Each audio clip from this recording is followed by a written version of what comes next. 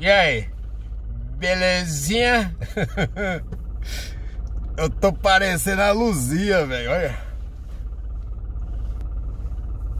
A Luzia é irmã da Aridelso da Camila, do.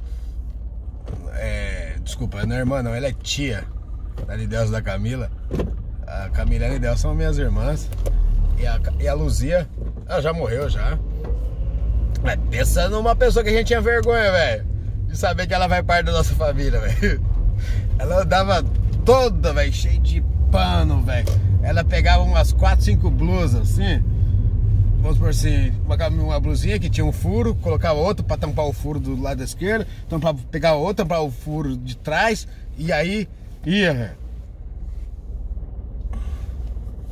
E era uma coisa mais zoada do mundo. A Luzia era zoada, velho. A Luzia, todo mundo quando fala, lembra da Luzia, a gente morre de vergonha, velho. Só de lembrar. Tomar umas cachaças, tudo. Luzia era zoada, velho. Você tem alguém na sua família que é assim esquisito, velho? Fala aí pra mim se tem ou não tem. O que, que eu vim falar hoje, daqui? Eu vim falar o seguinte: é muito normal, a gente se fala muito aqui no Japão da honestidade do japonês. O, Japão, o japonês ele é honesto.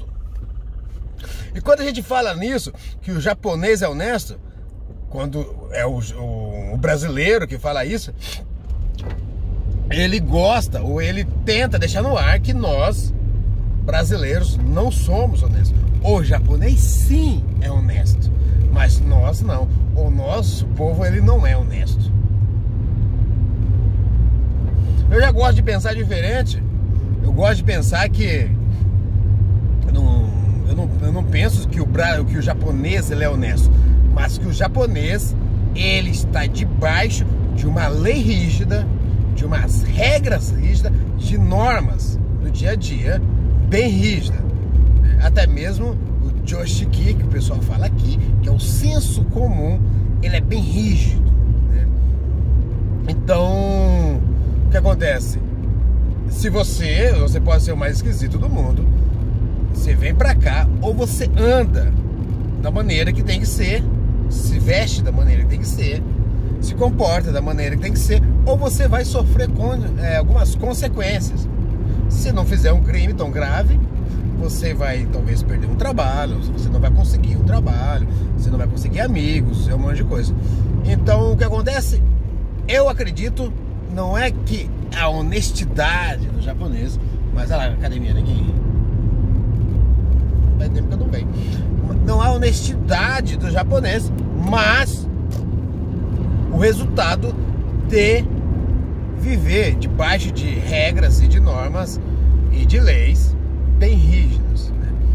É, então, quando eu penso dessa maneira, claro, eu abro um pouquinho, eu abro um pouco a mente e penso que existe gente honesta no Brasil, porém não debaixo de umas regras tão firmes, tão rígidas assim. Então daí você pega uma pessoa debaixo de uma regra, de regras rígidas, sendo honesto, e uma pessoa também sendo honesta, mas debaixo de regras não tão rígidas assim. Tá entendendo? Eu vou te dar um exemplo. O que aconteceria se eu achasse uma carteira aqui agora? Eu. Qual a diferença? Se eu achasse uma carteira lá em Assis, estado de São Paulo, uma carteira cheia de dinheiro. Se a polícia me parasse, falei, de quem que é essa carteira? Falei, eu achei ali. O que que sei que aconteceria? Tem um, tinha um certo dinheiro. O que aconteceria se eu achasse a carteira com um pouco de dinheiro aqui no Japão e a polícia me parasse eu achei essa carteira ontem. Tinha dinheiro. Qual seria? Qual é a diferença daqui ou de lá?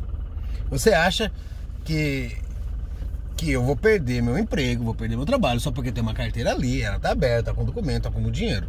Se eu parar para pegar a carteira aqui, vou ter que levar no posto policial, vou ter que chegar atrasado no trabalho, e vou ter que me explicar onde é que eu achei, vai demorar um pouquinho. Posso até pegar o dinheiro para mim, no sentido de que depois que eu entregar na polícia, depois de alguns meses, o dono não, não achar o dono, a gente recebe isso aí, né?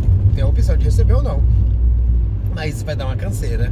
Isso vai fazer com que eu atrase no trabalho. Atrasar no trabalho já causa transtorno para várias outras pessoas.